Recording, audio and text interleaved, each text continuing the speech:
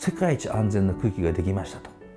いうようなことをですね世界に発信しながらあの福島っていうものをですねもう一度見直してもらえたらなというにはすごく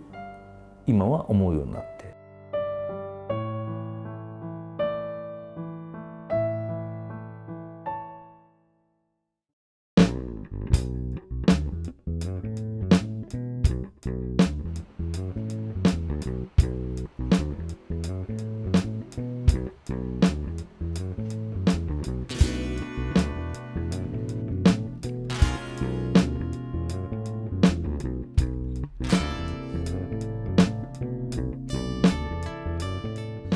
ニタリングっていうのをやって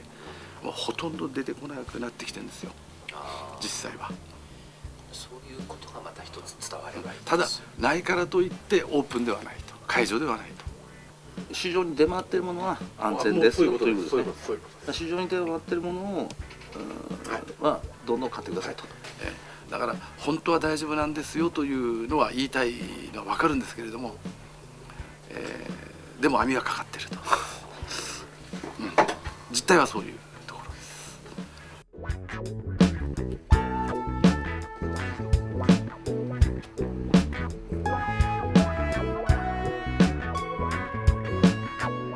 初めての試練ですね。ここに来て。農家やって。30年。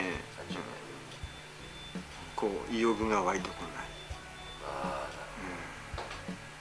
うん。どうしていいかわからない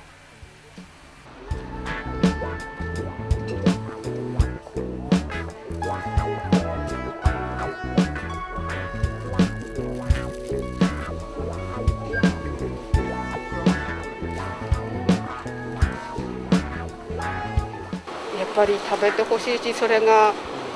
復興っていうか復興普及の足がかりになると思うからそれは。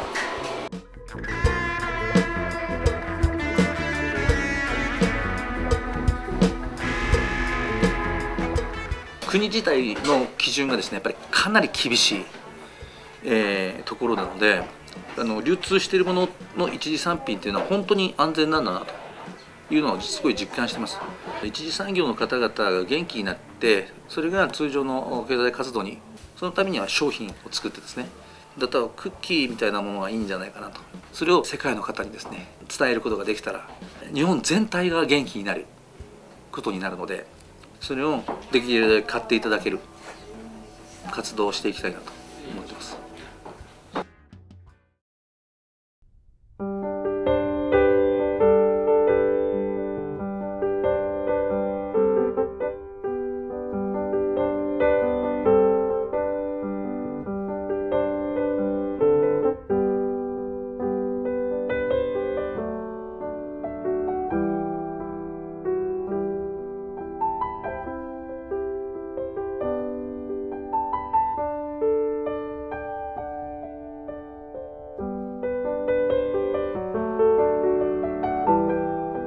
世界で今一番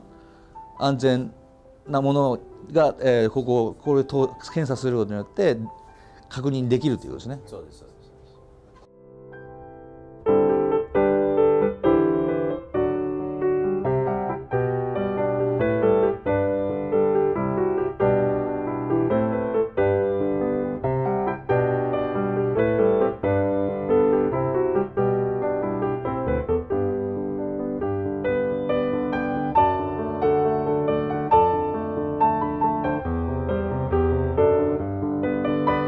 日本の一次産業っていうのは実は世界に誇れるものなんですけど一次産業の現場にいる人たちはそれを感じてないんですね。もしくは世界に必要とされてるっていうことを意識してないのでそれを伝えながらその現場というかその地域地域とですね。だからその間に入れることができるのかなと思ってます。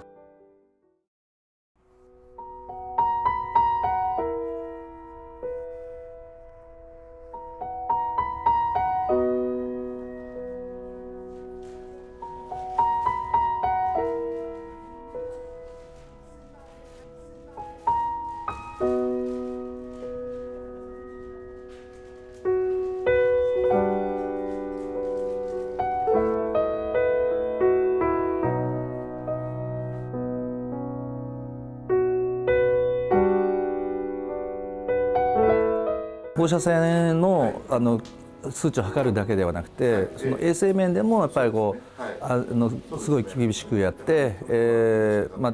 タイトルとしてはその世界一安全なクッキーみたいなものを出していきたいので、ね、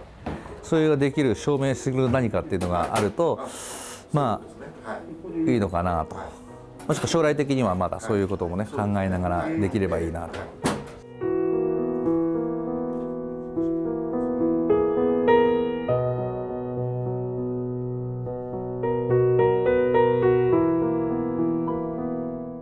これが安全なんだからこれを使ってそういうクッキーもしくはその他の加工品を作ってもしくはそれを作る工程もですね、えー、一般的なこう衛生管理といいますか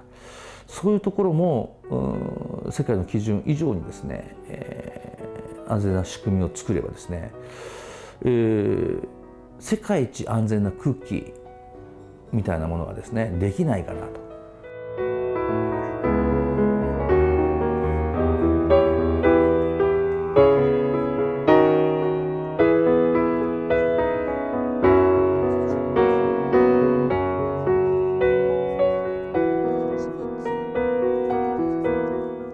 味しいので、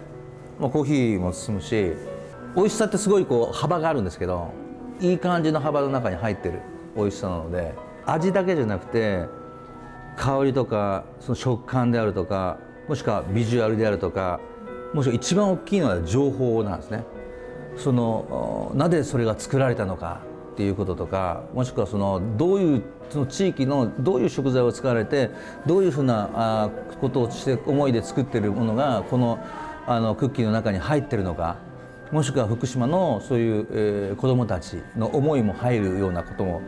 えー、ありましたしそういうのがちゃんとこう整え整うことによってその美味しさっていうのがもっともっと膨らむと思うんですね。だからそのことっていうのはできそうな予感がすごいしてるのであの嬉しいです本当にあのなんていうんですか本当に考えてくれてる人たちがいるんだなって本当に思いましたね福島の思いとかあの私たちは元気だよというのをあのしっかり伝えて安心安心して召し上がっていただけるようにえあの努力したいと思ってます。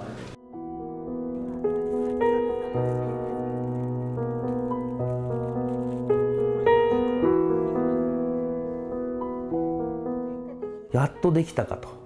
1年半ぐらい、えー、経ちますけども。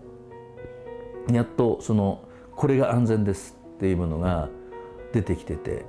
もっとだこういうものをですね、えー、こういうことをしてるっていう福島の方々もしくはこう、えー、それに関係している方がそういう努力をされていることっていうのをですねもっとたくさんの人に知ってもらいたいなと。いうのは今思ってますけどね。まあそれもそのクッキーを通してですね、えー、できるかもしれないしもしくはそのクッキーにもいろんな仕掛けを作ってですね、えー、現状の、ことであるとかもしくは地元の人たちのコメントであるとか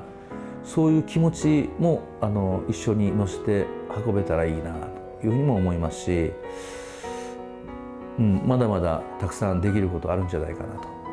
また、まあ、今やっとこうそのクッキーもできつつあり、えー、その安全の確保もできつつありえー、まあまだやっとこうスタートに立ったみたいな気分ですけどね。